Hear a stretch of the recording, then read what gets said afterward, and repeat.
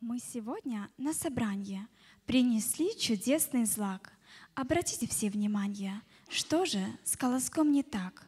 Вы правы, в нем нету зерен, он совсем-совсем пустой.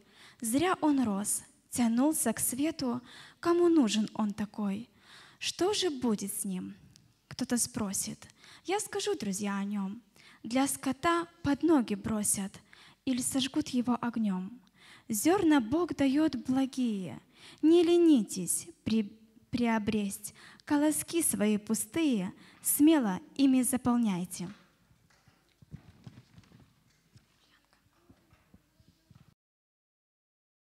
стонут змеи люди, им тепла им не хватает. У твоя любовь отсюда ярким солнышком сияет. Тяжело порой, но все же радость дал Спаситель нам. Ты дари ее, как можешь, унывающим сердцам.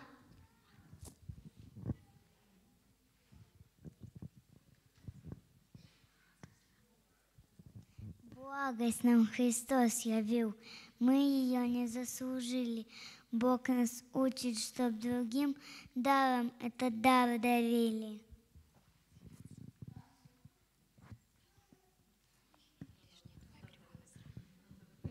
Ближний твой изранен, стоит в ранах и крови. Быть как добрый самоярин, милосердие прояви.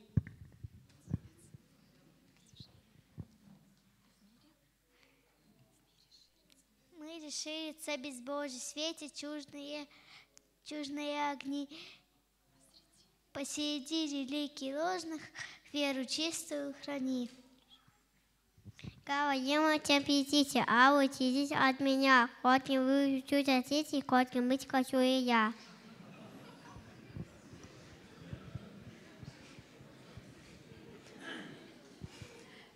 Если ты, как этот колос, плодоносный и живой, то услышишь Божий голос. Верный раб, войди в покой, берегись духовной лени и гони из сердца прочь. Стань скорее на колени и проси Христа помочь, чтобы участь раба злого не постигла нас, друзья.